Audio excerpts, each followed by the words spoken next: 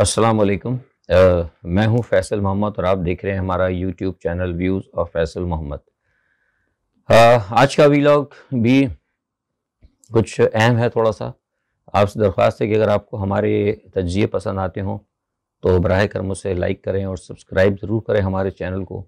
आज जो कुछ हो रहा है पाकिस्तान में, दुनिया पे भी जो हो रहा है, लेकिन जो पाकिस्तान में हो रहा है वो भी इंतहाई काबिल तशवीश और इंतहाई काबिल गौर इस वक्त है। क्योंकि पाकिस्तान, मैं आज आपको नहायत ज़िम्मेदारी से बता रहा हूँ कि मैंने आपको कहा था कि वेस्ट जो है, उसने स्प्रिंग साउथ एशिया के नाम से जो तहरीक शुरू की हुई है जिसके के अंदर वो साउथ एशिया के स्टेबल ममालिक को गैर मुस्तकम करना चाहता है। इस पर मैंने काफ़ी अरसे पहले बताया भी था, मेरी रिपोर्ट्स भी थी। वो उस पर अब काम होना शुरू हो चुका है, कहीं ना कहीं आपने देखा होगा कि श्रीलंका का क्या हाल हो गया पाकिस्तान का। और श्रीलंका के अंदर भी इन कुतों ने, आलमी कुतों ने उन्हीं कुतों को इस्तेमाल किया, अपने एजेंटों को इस्तेमाल किया, जो कि इनके लिए काम करते थे और वहाँ पर माशी बहरान पैदा किया। और आज आप श्रीलंका की हालत देख लें उसके बाद पाकिस्तान का नंबर था। पाकिस्तान को तो खैर ये शुरू से लगे रहे क्योंकि पाकिस्तान इनका बहुत बड़ा टारगेट है, हमारी एक न्यूक्लियर ताकत है मुसलमानों की। तो इसलिए वो उसको पहले से वो टारगेट करते हैं, लेकिन अल्हम्दुलिल्लाह हमारी जो कुछ पाक अफवाज थी और दूसरी सबसे बड़ी बात है कि जो इमरान खान की क़्यादत इस कौम को मिल गई थी और उसकी वजह से उन्होंने देखा कि ये उनका फार्मूला जो है, मैं पहले बता चुका हूँ कि 2030 तक इनका क्या प्लान था। क्योंकि इमरान खान के आने की वजह से वो प्लान जो है उनका सारा रुक गया था। तो अब उन्होंने इमरान खान को हटाया और हटाने के बाद बाकायदा एक अदलिया का सहारा लिया गया और अदलिया के सहारे के ज़रिए से इनको तमाम वो लोग जो कि चोर थे और जो गैर मुल्की एजेंट्स थे जो कि पाकिस्तान के अंदर नारकी फैलाना चाहते हैं, जो कि पाकिस्तान के अंदर मगरब के एजेंडे के तहत यहाँ इसके न्यूक्लियर रूल प्रोग्राम को रोल बैक करना चाहते हैं, माशी सतह पर तबाह करके सिंध और बलूचिस्तान के अंदर अलहदगी की तहरीकों को जिला बख्शना चाहते हैं। वो तमाम जमातें और आज आपने देखा कि उनको एन आर ओ जो है अदलिया की जानब से मिला। अदलिया ने, मैं आपसे पहले कहा था कि अदलिया ने जो वादा खिलाफी की है अदलिया का कोई भी इसके अंदर राइट नहीं था असम्बली के अंदर जाने की, जो मरकज़ में उन्होंने किया, आज मरकज़ से आप देखें कि अच्छा खासा जो पाकिस्तान चल रहा था, बिल्कुल पुरसकून एक पाकिस्तान चल रहा था। सिवाय के वो अपोजिशन वो पीडीएम का एक मरा हुआ मुर्दा घोड़ा था उस मुर्दा घोड़े के अंदर जान डालने के लिए जिस तरीके से वेस्ट ने अपने एजेंटों को इस्तेमाल किया और पैसा दिया और जो जब जजेस को इस्तेमाल किया गया तो आपको याद होगा मैं कहता था कि परवेज़ मुशर्रफ की तरह जिस तरह बार और बेंच को उन्होंने इस्तेमाल किया था और इसी तरह इन्होंने दोबारा बार बार और बेंच को इस्तेमाल किया है। आज सूरत हाल ये हो चुकी है कि मैं जब आपसे आज बात कर रहा हूँ तो पाकिस्तान इंतहाई तेज़ी से खाना जंगी की तरफ़ जा रहा है। ये मैं नहीं कह रहा। ये सिर्फ़ मैं नहीं कह रहा, बल्कि पाकिस्तान के अलावा जो दूसरी गैर मुल्की जो एजेंसियाँ हैं, जो कि पाकिस्तान के ऊपर रिपोर्ट्स करती हैं, जो पाकिस्तान में नज़र रखती हैं, उन्होंने अब ये देखना शुरू कर दिया है। उनके जो वजारत खारजा हैं या उनके जो बैरून मुल्क जो काम करते हैं, उनके वो, उन्होंने अब इस चीज़ के ऊपर ये डिस्कस करना शुरू कर दिया है, जो यहाँ खाना जंगी पैदा करना चाहते हैं। वो भी डिस्कस कर रहे हैं कि कितने फ़ीसद वो कामयाब हुए हैं। और जो इस मुल्क को में खाना जंगी नहीं पैदा करना चाहते, जिनकी यहाँ इन्वेस्टमेंट है, वो भी इस तमाम सूरत हाल को मॉनिटर कर रहे हैं। इस तमाम सूरत हाल को ख़राब करने के अंदर जो मैं समझता हूँ, जैसे मैंने पहले कहा था, मुझे नहीं परवाह, मैं, कि मुझे अदलिया क्या वो लगाएगी, मैं तो पाकिस्तान का फ़िलहाल शहरी भी नहीं हूँ। मुझे किसी ने कहा भी था कि आपके ऊपर कंडेम्ड ऑफ़ कोर्ट आ जाएगी। मैंने कहा, लग जाए कंडेम्ड ऑफ़ कोर्ट मुझे नहीं परवाह। और जब आएगी तो वो भी देख लेंगे। लेकिन ये बात मैं आपको बता रहा हूँ कि जो कुछ अदलिया ने किया है, ये मेरी कौम के नाम एक पैगाम है।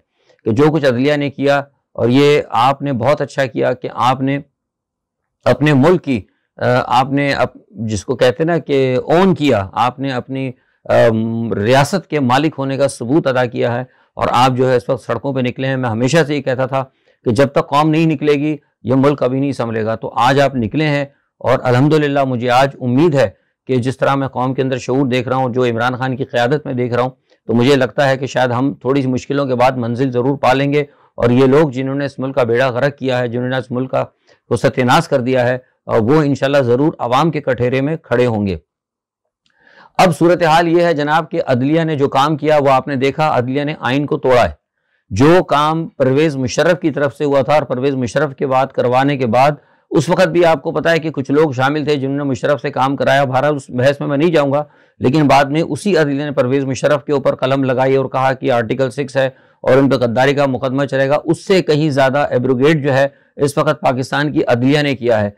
तो क्या मैं कौम से पूछना चाहता हूँ, लोगों से पूछना चाहता हूँ कि क्या इन अदलिया के रिटायरमेंट के बाद क्या इन जो अदलिया के जजेस हैं क्या इनके ऊपर भी परवेज मुशरफ की तरह आर्टिकल सिक्स लगने का मुकदमा बनेगा? बनना चाहिए। अगर इनके ऊपर मुकदमा नहीं बनता और इनको परवेज मुशरफ के बराबर में ला के खड़ा नहीं किया जाता, हालाँकि परवेज मुशरफ कोई गद्दार नहीं थे, परवेज मुशरफ ने जो कुछ किया वो मुल्क और कौम की बेहतरी के लिए किया। लेकिन जब उससे नाराज़ हुआ अमेरिका तो अमेरिका ने और भारत ने कहा था, ये रिकॉर्ड पे बयान पड़े हैं, क्या मुशरफ को बीजेपी मोदी ने कहा था? मैंने, मेरे एआरवाई के ऊपर मेरा बहुत बड़ा स्टेटमेंट पढ़ा हुआ है, कभी आपको दिखा दूँगा। मैंने ए में टॉक शो में लाइव कहा था कि मोदी ने कहा था कि हम परवेज मुशरफ को जो है निशान इबरत बनाएँगे और आज आप देख लें वो निशान इबरत बना हुआ है। उसके बाद यही अब जो बातें निकल के आई कि हम इमरान को भी निशान इबरत बनाएँगे, लेकिन अलहमदिल्ला मुझे लग रहा है कि अल्लाह ताला की तरफ़ से कौम अब खड़ी हो गई है। तो अब जो कुछ हो रहा है इस मुल्क के अंदर, ये तमाम सूरत हाल जो मैंने आज आपको आवाम को बताई है सूरत हाल इंतहाई गंभीर है। मेरा बराह रास्त जहाँ तक मैं हो सका, मैं कोशिश भी करूँगा, मैं रबता भी करता हूँ। फौज से अब मेरा एक दरख्वास्त है कि वो फौरी तौर पर अपना किरदार अदा करे और इस मुल्क को बचाए। आप यकीन करें कि अगर मुल्क को नहीं बचाया तो ये जो साउथ एशिया स्प्रिंग का जो प्लान है, मगरब का उसके तहत ये पाकिस्तान जो है तबाह हो जाएगा और ये खाना जंगी की तरफ़ चला जाएगा। अब टाइम जो है ना, बिल्कुल नहीं बचा है कि अब फौज जो है, मजीद जो कुछ होना था, हो गया। जो होना था, हो गया। हमें पता है मैं फौज को इल्ज़ाम नहीं देता क्योंकि फौज ने जो कुछ करते हैं ना, वो रूटीन में करते हैं। लेकिन अब फौज को और ताकतवर इदारों को समझ जाना चाहिए कि यहाँ पर अब जो है, तब्दीली हो चुकी है और रियासत के जो मालिकान हैं, वो अब रियासत के दिफा के लिए खड़े हो चुके हैं। कौम जो है अपने, अपनी अपनी ओन करने लगी है, अपनी रियासत की सोवरेंटी को और अपनी उनके सेल्फ जो उनका एक मुझे कहते हैं ना खुद मुख्तारी और एक गैरत, कौमी गैरत और कौमी हमियत के लिए अब वो खड़ी हो चुकी है। जब कौम खुद खड़ी हो गई तो फिर मैं समझता हूँ कि कौम के इदारों को नहीं चाहिए कि बिल्कुल वो ब्लैकमेल हो। आप देखें कितना अफसोस का मुकाम है कि आज पंजाब असम्बली में क्या हुआ है? स्पीकर का, कौमी असम्बली में आपने देखा किस तरीके से इजलास हुआ है। वहाँ पर कोई लोग नहीं बैठे थे, सबके चेहरे पे मुर्दनी छाई हुई थी, क्योंकि सबको नज़र आ रहा था। और आपने देखा, मैं कहता रहा हूँ कि ये मामला नहीं चलेगा, ये टोट बटोट का जो हुकूमत आएगी नहीं चलेगी टोट बटोट की? सबसे पहले आप देखेंगे एहसास एम क्यू वालों को हो गया। एम क्यू वालों ने वजारतें लेने से इनकार कर दिया। जरदारी साहब का बयान आपने सुन लिया। जब उनसे किसी बंदे ने पूछा कि जनाब, क्या आप बिलावल साहब वजरिया खारजा बनेंगे? क्योंकि मैंने आपको बताया था कि ऐसी बातें चल रही हैं और ये बात तय थी कि बिलावल को वज़ीर खारजा बनाया जाएगा। लेकिन इमरान खान के जलसे और इमरान खान का पेशावर का जलसा और कराची की जो कल आज जलसा होने वाला है, जलसे से 24 घंटे पहले कराची में अवाम की प्रेजेंटेशन ने कई सियासी जमातों को, जो कि कहीं ना कहीं से पीपल्स पार्टी मुस्लिम लीग की बात नहीं कर रहा, ये तो खैर है इस वक्त, मुल्क दुश्मन जमातें, अब तो सर्टिफाइड है ना मतलब तो कोई है ही नहीं उसके ऊपर कोई। लोगों ने तो इदारों ने आँखें बंद कर ली थी ना मेमोकोट के बाद भी बंद कर ली डाउन लीग्स की बात बंद कर ली पठानकोट के अंदर आईएसआई के चीफ को भेजने के लिए कहा सबने आँखें बंद कर ली। लेकिन आप याद रखें, अवाम आँखें नहीं बंद करेगी। तो लिहाजा अब ये सर्टिफाई हो गया कि ये दोनों माफियाज ग्रुप जो है, ये मुल्क दुश्मन है, लेकिन इनके साथ जो दूसरी सियासी पार्टियाँ उनको अब नज़र आ रहा है एम क्यू एम या छोटी मोटी दूसरी जो पार्टियाँ हैं, उनको अब नज़र आ रहा है कि उन्होंने बहुत गलत फैसले किए लिहाजा अब कुछ लोग जो है ना, वजारतें लेने से हट रहे हैं। आज भी पीपल्स पार्टी ने, आप देखा है, वो जरदारी साहब ने कह दिया कि बिलावल साहब वजी अजम बनेंगे। तो उसका मतलब है जो मैं कहता था कि जूतों में डाल बटने लगी है, उनको पता है कि ये नहीं चलने वाली वजारतें, कोई नहीं लगा और चलेगी भी नहीं।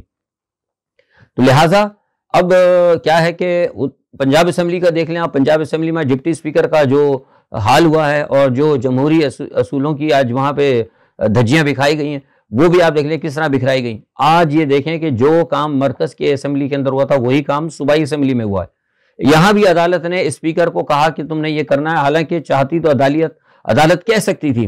कल कल तक, यानी डे बिफोर यस्टरडे जो है, अदलिया की जानब से ये बात सुनने में आ रही थी कि अदलिया ने कुछ सबक सीखा है मरकज से। लेकिन सुनने में ये आया है कि जो मौजूदा हुकूमत है, जो कि अमेरिका की दबाव पर आई है, उन्होंने कहा कि नहीं जी, सब मामला ठीक हो रहा है, आप वही काम करें, जैसा कि मरकज के अंदर हुआ है। नतीजा क्या हुआ कि सूबाई असम्बली ने भी मरकज में वही काम किया और आज आपने देखा कि कभी भी पाकिस्तान जब से बना हिस्ट्री में, कभी पाकिस्तान की असेंबली में पुलिस नहीं आई और आज वो असेंबलियों के अंदर पुलिस भी आ गई।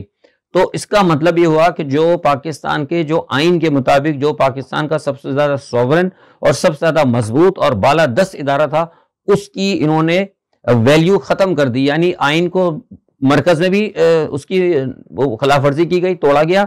और इधर सूबाई असेंबली में भी तोड़ा गया। जब ये आइन खुद अदलिया ने तोड़ दिया तो अब अगर फौज मार्शाला लगाती है, ये अहम बयान है इदारों के लिए, अब अगर फौज मार्शाला लगाती है तो फिर फौज को डरना नहीं चाहिए, क्योंकि आइन को तोड़ने की हमरा हमरा जो है ना, हमवार खुद अदलिया ने की है। मुल्क को बचाना होगा, आइन बाद में है, मुल्क पहले है। मैं तो कहता हूँ कि फौज आए, बिल्कुल इस वक्त फौज को आना चाहिए, फौज आए और आके एक दफ़ा बल सफ़ाई करे। क्योंकि जो कुछ आज पंजाब असेंबली में हुआ, आप देखें, वो चौधरी परवेज लाई को उन्होंने मारा है, उसका हाथ तोड़ दिया। हाथ तोड़ने के बाद मारपीट करके, पहले वो स्पीकर के ऊपर लोग चढ़ दौड़े, उसके बाद उनको मारा। असेंबली के अंदर वो हंगामा हुआ, सारी दुनिया देखती रही है, सारी दुनिया देख रही है कि ये क्या हो रहा है। और हर आदमी समझ रहा है कि ये सब कुछ जो काम हुआ है, ये जानबूझ, जैसे मैं आपको पहले से कह रहा हूँ कि ये सब काम प्री प्लान है।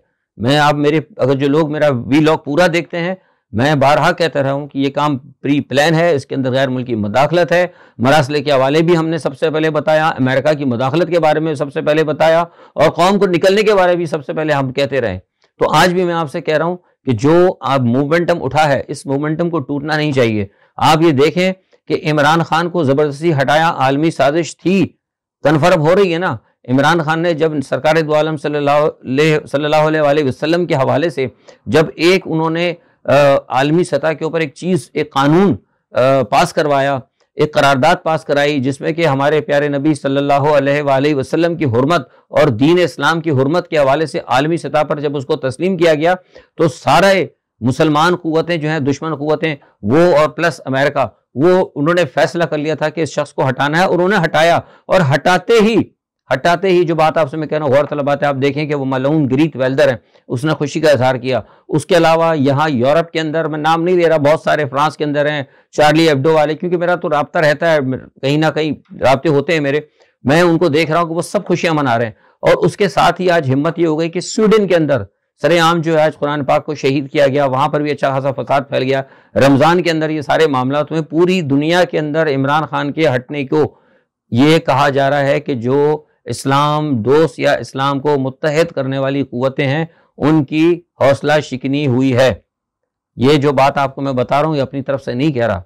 ये कहीं ना कहीं चल रही है लेकिन मैं इसको अपने अपने अल्फाज में बयान कर रहा हूँ, क्योंकि मैं एज इट इज़ नहीं बता सकता, ना मैं नाम ले सकता हूँ। लेकिन ये कहा जा रहा है कि मुस्लिम दुनिया को दोबारा मुतहद करने वाली जो कुतें थी, या दीन इस्लाम को कहीं ना कहीं से वो फ़रोग दे सकती हैं इस्लाम दे सकती हैं, उनकी नाकामी के लिए ये काम बहुत अच्छा हुआ है यानी सबसे पहले इब्तदा पाकिस्तान से की गई है। लिहाजा देखना यह होगा कि इस मामले को हमारी कुतें जो हैं ताकतवर वो किस तरीके से देखती हैं क्या उनकी सोच है क्या वो आ, मुल्क पाकिस्तान को गैर मुल्की एजेंडे के ऊपर इसी तरह छोड़ देंगी ताकि जो उनका एजेंडा है कि 2030 तक आ, इस मुल्क के तीन हिस्से कर दी जाएँ तो क्या उसको वो मंजूर करेंगी जिसकी कि अब इब्तदा शुरू हो चुकी है। अब आज क्या है सारा मामला? जो कुछ हो रहा है, ये इदारे मैं जैसे आपसे कह रहा हूँ ना कि जो इदारे इस वक्त देख रहे हैं सूरत हाल और मैं ये भी आपको खबर दे रहा हूँ कि इस वक्त इदारों के अंदर एक सोच डेवलप हो गई है, और उसी सोच के डेवलप होने की वजह से मैं ये इदारों से दरख्वास्त कर रहा हूँ कि वो अपना किरदार अदा करें। अब सोचे नहीं, सोच का टाइम नहीं है, क्योंकि ये जो कुछ हो रहा है, ये इदारों के खिलाफ साजिश है। मत आप सोचें कि कहीं कोई आपको कोई इसके अंदर आपको मुजाहमत मिलेगी। कोई मुजामत नहीं होने वाली, कुछ नहीं होने वाला। और पाकिस्तान के अंदर जो मामला हैं, आप ये देखिए कि आज मैंने देखा, शहबाज शरीफ साहब असम्बली में खड़े होकर कह रहे थे कि वो रूस के ऊपर वो मना किया जा रहा है। भाई, वो झूठ बोल रहे हैं कि रूस के को मना किया गया है। अमेरिका ने मना किया है ना। आज भी हम यूरोप में बैठे हैं, मुझे पता है, हंगरी भी तेल ले रहा है, जर्मनी भी तेल ले रहा है, फ्रांस भी तेल ले रहा है, कई ममालिक ले रहे हैं। आपको किसने मना किया? आपको अमेरिका ने मना किया है। तो आज शहबाज शरीफ कह रहे हैं कि हमें वहाँ पे लेना, बाहर से लेना पड़ेगा रूस पर पाबंदी हो गई है। यूरोप भी तेल नहीं ले रहा, इसलिए चीज़ें महँगी कर रही हैं। ये बुनियादी तौर पर आते ही उन्होंने अमेरिकन एजेंडे को अप्लाई करना शुरू कर दिया है। लिहाजा, अब हर चीज़ जो है वाजे हो गई है, रोज़े रोशन की तरह वाजे हो गई है। अब इसके अंदर कहीं भी कहीं भी किसी चीज़ को कोई इबाम नहीं रह गया। अब ना आपको कौम को मैं समझता हूँ अपनी दानिश के अंदर के ना आईएसपीआर की किसी आ, प्रेस ब्रीफिंग की ज़रूरत है न किसी और की प्रेस ब्रीफिंग की ज़रूरत है जो कुछ हो रहा है बिल्कुल सामने है रोज़े रोशन की तरह हर चीज़ सामने नज़र आ रही है। मुल्क के हालात बिगड़ते जा रहे हैं पाकिस्तान खाना जंगी की तरफ़ जा रहा है सारी दुनिया के अंदर हालात ख़राब हो रहे हैं इस वक्त जब मैं आपसे बात कर रहा हूँ तो जैसा मैंने आपसे कहा था, दो हफ़्ते से कहता जा रहा हूँ कि हम खाना जंगी की तरफ़, हम खाना जंगी के साथ साथ एक आलमी जंग की तरफ़ भी बढ़ रहे हैं। और वो आलमी जंग इस तरह है कि कल रूस का जो सबसे बड़ा एक बहरी बेड़ा है बहरी बेड़ा भी कह सकते हैं उसको, मास्कोवा, उसको यूक्रेन ने तबाह किया। मैं जैसे पहले भी कहा था कि यूक्रेन नहीं लड़ रहा, यूक्रेन के पीछे नेटो लड़ रही है। तो अब उसके तबाह होने के बाद से रूस को बड़ी कारी जरब लगी है और जो मेरी इतलात हैं सरकारी चलिए बता देता हूँ आपको, सरकारी एजेंसियों के हवाले से या बैन अवी जो रबताकार हैं, उनके हवाले से वो ये है कि प्यूटन ने अब फैसला कर लिया है कि वो बिल्कुल हर सूरत में टेक्टिकल न्यूक्लियर हथियार अब इस्तेमाल करेगा। मैं जब आपसे बात कर रहा हूँ, जब यह वीडियो देखेंगे, उसके बाद यह हो सकता है, एक दिन बाद यह आप खबर सुनेंगे। कि टेक्टिकल न्यूक्लियर हथियारों से प्यूटन ने हमले करने शुरू कर दिए। क्योंकि अब ये उसकी मजबूरी बन चुका है, क्योंकि वो बात अब कन्फर्म हो गई। जैसे मैंने आपसे कहा था कि यूक्रेन के अंदर नेटो लड़ रही है, दूसरे जंगजियों की सूरत के अंदर। पूरी पूरी मदद कर रहा है। साफ़ बात खुल के सामने आ गई है। और आज इसी ऐलान के साथ साथ जिस वक्त मैं आपसे बात कर रहा हूँ, इस वक्त, यानी बिल्कुल राइट इसी वक्त फिनलैंड की सरहदों के ऊपर न्यूक्लियर मिसाइल लगा रहा है रूस और रूस ने एक बहुत बड़ी तादाद जो है फिनलैंड की तरफ़ भेज दी है। और डिप्लॉयमेंट हो रहा है स्वीडन के ऊपर और फिनलैंड के ऊपर रूस अटैक कर सकता है एक ऐसी सूरत के अंदर, जबकि स्वीडन के अंदर कुरान पाक की बेहरमती की गई। सरकार आलम सल्लल्लाहु अलैहि वसल्लम का जहाँ मज़ाक बनाया जा रहा है, वहाँ वैसे ही कशीदगी है। इस दौरान में रूस की तरफ़ से हमला होना किसी एक नए सिनेरियो को जन्म दे सकता है। आप समझ गए होंगे जो बात में मैं बहुत मोहतात अल्फाज इस्तेमाल कर रहा हूँ। तो इन तमाम चीज़ों को देखते हुए हमें ये देखना होगा कि पाकिस्तान इस वक्त कहाँ खड़ा है। इसीलिए मैं दोबारा ये अपने हलकों से कहता हूँ कि सारी दुनिया के बदलते हुए हालात को देखें। जो कुछ भी होगा, हज़ार दफ़ा हमें पता है कि जो कुछ भी होना है, उसका असर पाकिस्तान पर होना है। लेकिन इस वक्त बेहतर है कि उन बड़े असरात की लपेट में पाकिस्तान आए तो इससे बेहतर है कि ताकतवर हल्के अपनी लपेट में अपनी रियासत को लें और इसको कंट्रोल करने की कोशिश करें। इस वक्त मुहब वतन आवाम की एक बहुत बड़ी तादाद आपके साथ खड़ी है। आएँगी परेशानियाँ थोड़ी सी परेशानी होगी, कुछ पाबंदी लगे, कुछ अमेरिका आपके ऊपर को हमला नहीं करने लगा, ये आप बेफिक्र रहें। हमला हमला नहीं करने लगा अमेरिका पे। अगर आपको, अगर कोई खतरा है तो आपको इन गद्दारों से है। एक दफ़ा हुकूमत सामने आए, फौज सारा अपना किरदार अदा करे और भल सफ़ाई करे। ये खत्म कर दे ये, वरना ये मामला चलता रहेगा। जिनको फौज ने, इदारों ने माफ़ किया है इनकी गलतियों के ऊपर किसी को बहन समझकर, किसी को बेटी समझकर, किसी को बेटा समझकर करते हैं इदारे, सारी दुनिया के अंदर इदारे, इदारों का एक जो है ना किरदार माँ की तरह होता है। लेकिन माँ भी देख, देखती है कि एक वक्त तक जब औलाद जो है इस काबिल हो जाए कि जब पूरे घर को ही खत्म करने लगे तो फिर बेहतर है कि फिर औलाद को लहदा ही कर दिया जाता। तो बेहतर है कि ये इन सांपों को, जिनको इदारों ने मोहलत दे दे के आज अजगर बनाया है, वो इदारों को और रियासत को निगलने लगे हैं। बेहतर है कि इन अजगरों का अब खात्मा किया जाए, उसके लिए ताकतवर इदारों को उठना पड़ेगा। अवाम उनके साथ खड़ी होगी। इसी पैगाम के साथ आज मैं इजाज़त चाहता हूँ। कल इंशाल्लाह जो भी खबरें हैं, उस पर अपना तजिया लेके ज़रूर हाजिर हूँ तब तक अल्लाह हाफिज़।